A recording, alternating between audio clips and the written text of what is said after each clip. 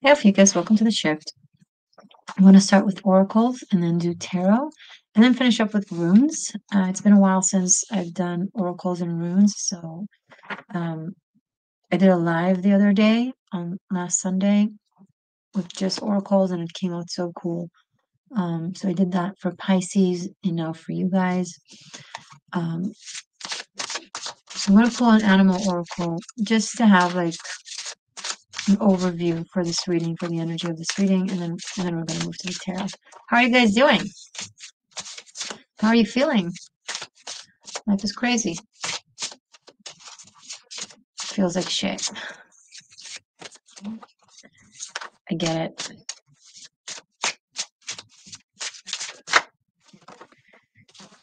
Oh.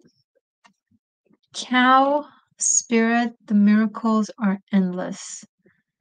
Amen.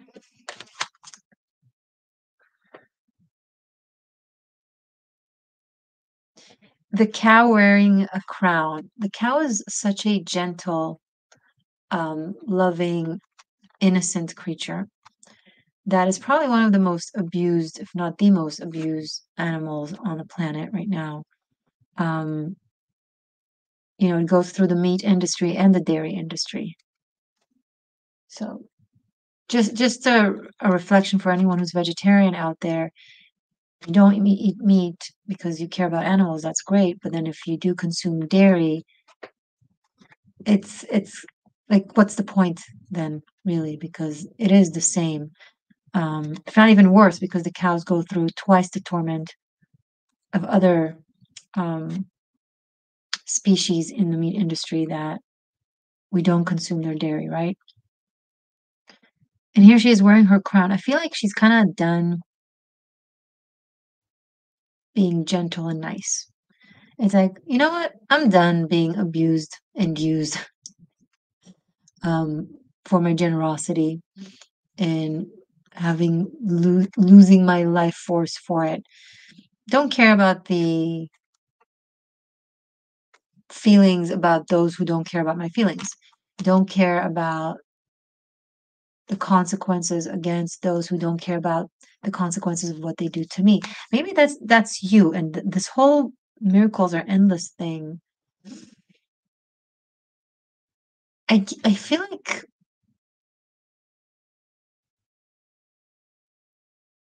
might be an overreach, but I feel like it's kind of giving you the go to just be yourself freely, wearing your crown,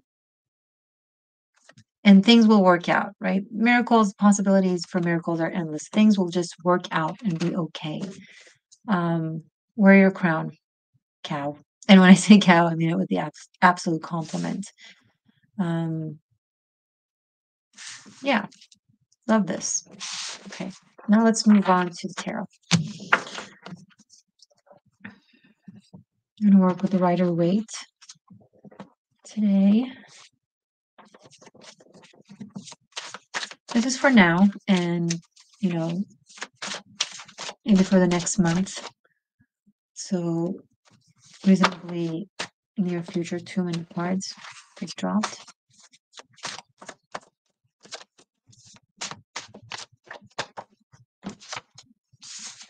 The Hermit.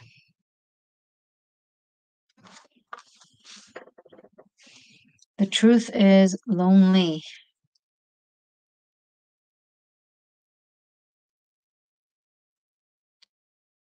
And one's inner truth is a lonely journey that one can only do on their own. And they can have road signs and um, roadside assistance. But you're the only one who can actually go within and see. And that, I feel like you're on this, you're on this trip, you're on this journey right now. And it feels alone. It feels solitary. It feels like you are, even if you're surrounded with people, I feel like you're going through something very lonely that you don't feel like you have anyone to share it with.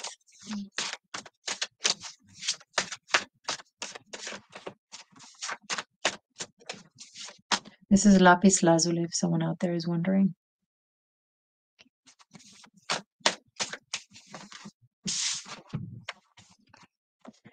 Judgment and King of Pentacles.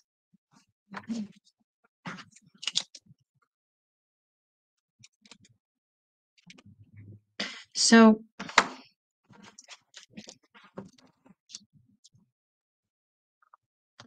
confirmation this is a process of awakening of self-awakening. You are really re realizing yourself. And this is the empowerment that we spoke of with the cow spirit the earth energy in you the who you are what you are is stepping into itself in a royal manner in a kingly manner unapologetically powerfully you after a profound realization of who you are it's something is waking up in you, like a dormant inner power, energy, um, approach. I, I'm picking up on a really wise, but also non apologetic type of energy, like fearless. You're not afraid to speak, to say the truth. Um, you're not afraid to be alone for doing so. But having the King of Pentacles here, this is actually a really uh, reassuring good sign that shows that you're actually going to be more than okay. Um, not going to be dismissed or um, denounced. You're going to be honored and heard for it. I think it's going to feel like, oh my God, what took me so long? to just be who I am, to just speak my truth or speak the truth, right? Um, without fear, without worry, without guilt, without shame, without hesitancy.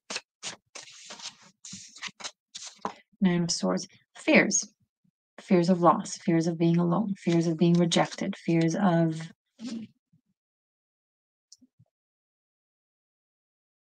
failing,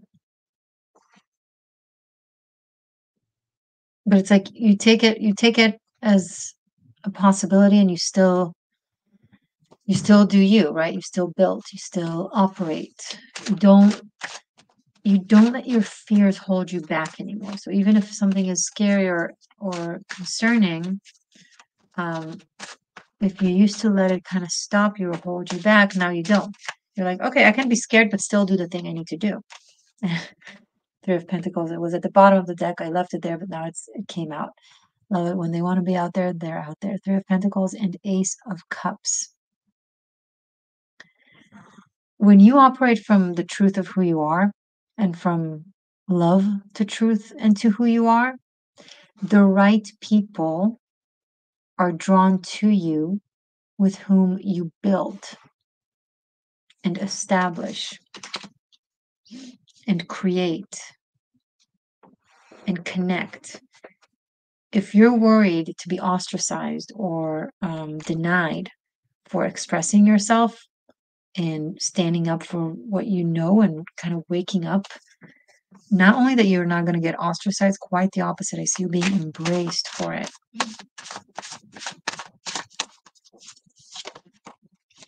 Right after the Ace of Cups, we have Knight of Cups.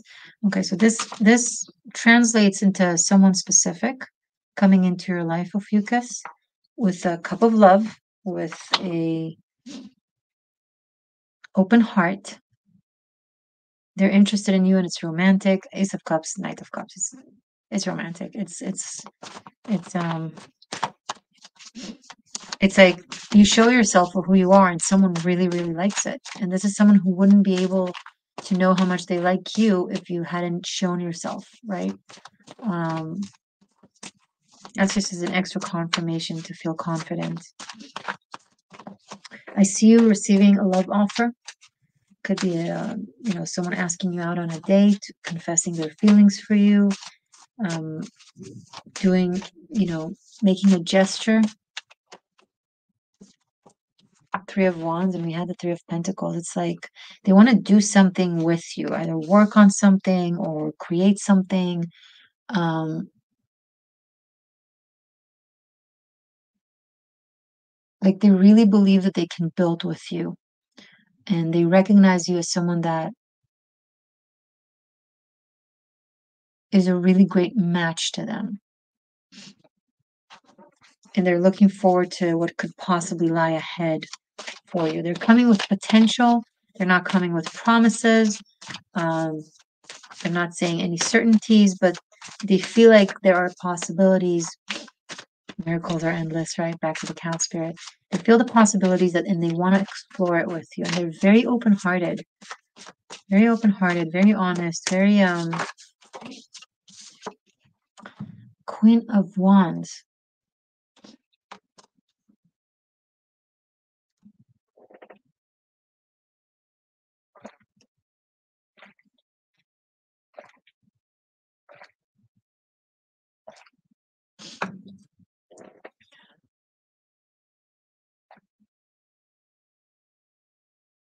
So it's going to start as like a creative endeavor, doing something fun together. Um, I don't know why I'm picking up on a garden or something. Um, could be something nature oriented or creative, active, like maybe maybe sports of some sort, maybe something physical, but also fun. Um,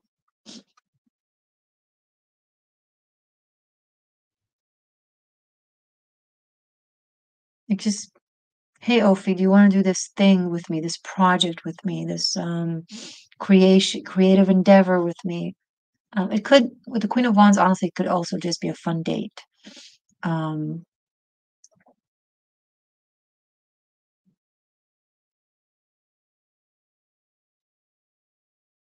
but there's a lot, a lot of livelihood and vitality and charisma and energy and um,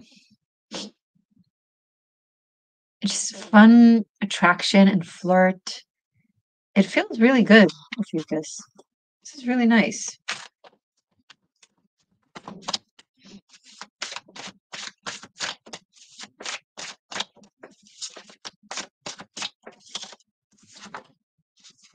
Seven of Wands. There's also something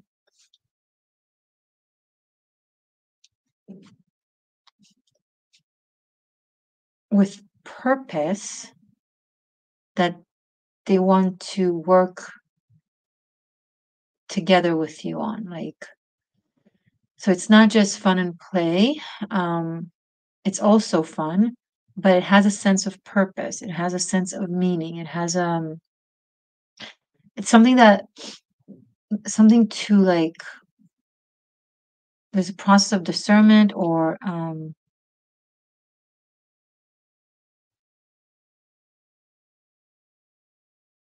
I don't know why I'm hearing needle in a haystack, like finding something of worth in like a pile of something that need that needs it to be like um picked from like um it's like going through beads and finding just the specific beads that you want you know like i don't know how you call it forget the word um but it's it's of importance of some sort uh it needs to be cleaned of cleaned of bullshit pretty much I don't know if you're doing that or if that's the thing that they're asking you to do with them or for them.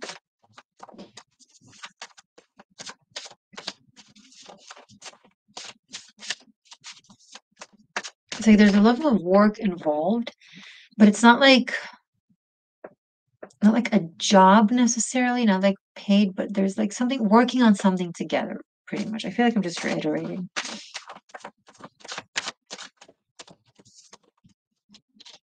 Queen of Cups. Okay.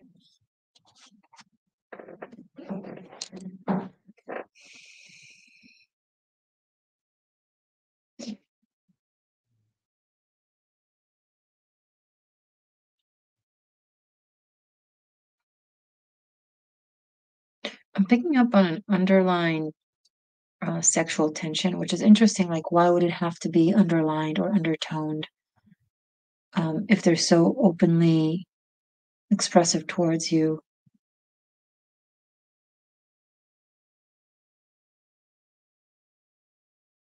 There's like another layer to this dynamic. Mm.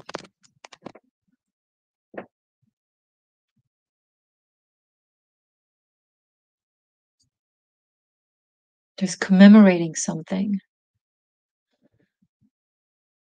Some of you might have no idea what I'm talking about. This could be like, you know, foreseeing. So get, come back to this reading maybe in a month. Um, my readings tend to get a completely deeper um, tone to them when you rewatch them after a while and then you connect the dots with things that have happened. Um,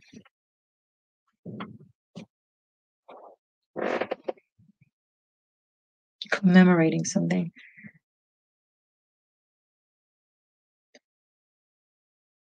Maybe like you're working on a um, a memory book or a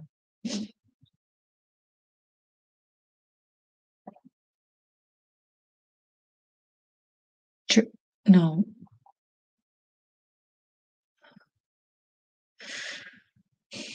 like documenting something.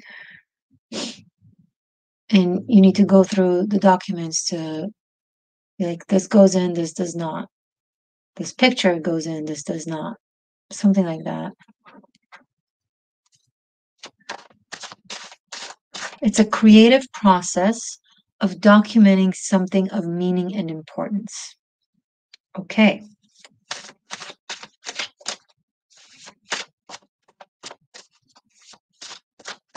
there's some research as well.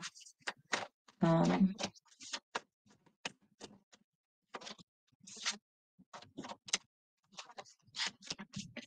Seven of Cups and the Justice card.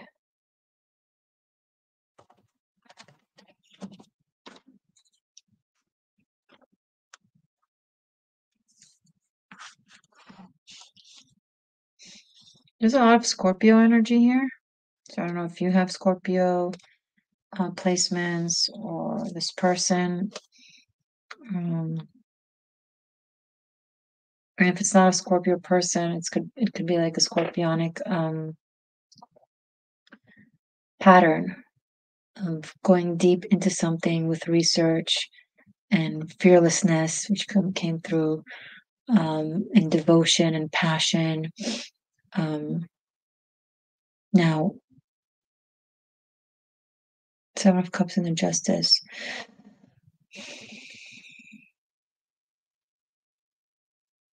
Once again, I see the need to discern truth from illusion, important from non important, prioritizing. Um, and you really go deep into it with this person. You you really commit yourself to it. It's something you feel strongly about. You just put your put your focus onto it. It gives you something. It gives you a sense of purpose.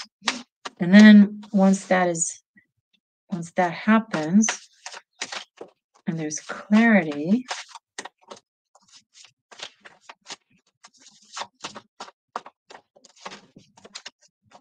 Six of Pentacles comes reward.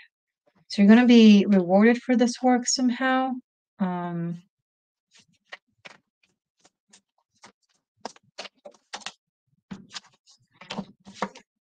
confirmation, Ace of Pentacles came right under the Ace of Cups. So you're definitely rewarded for a really good job of discerning right, false from true, important from non important here.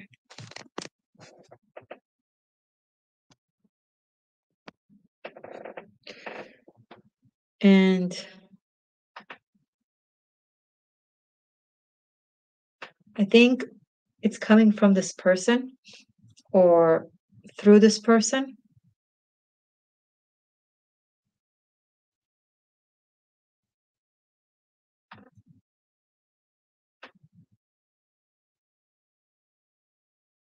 You managed to dive through like someone is asking you hey can you sort through this and tell me what is true what is false what is real what is not what is um, legitimate and what isn't? And kind of make corrections and clarifications and you're like i'm on it. And you're doing a really good job at it. Um, and I think you do it from passion, from your own devotion. Uh, you just are like, yeah, I believe in that. Yeah, I want to do that. And you do it. And then, okay, here's your payment. and you're like, oh, great.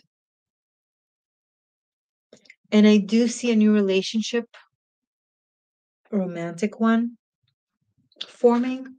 Uh, I think it's likely somehow connected.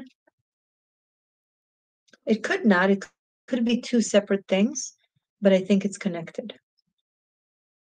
I'm going to look deeper into this dynamic. I'm going to look into you and your person of interest. In this case, could be this person coming through, or if not, anyone else that you're dealing with. Um, so this will be your love sequel, and you'll find it on Master Channel membership. And if you join that, you'll have access to all the sequels, present and past, and future. Duh. and um, and it will also include karmic shifts and liberation Anyway, links are below.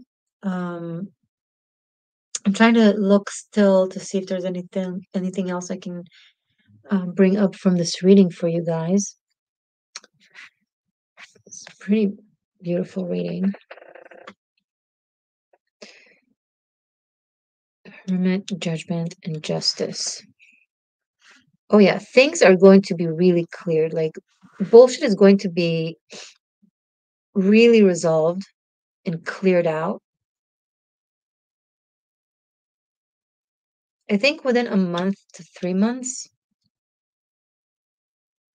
I see you in a relationship and in a very good established, some sort of income that you have going for you that is based in collaboration and something that you believe in and enjoy and have a creative spark towards. Okay, I'll see you in the extended in the in the sequel. I'm sorry. Um, stay magic, stay true. I love you. הגעתי ללמד וללמוד, ערפו את ראשי אך לא יותר מכשפת, שווה לרקוד.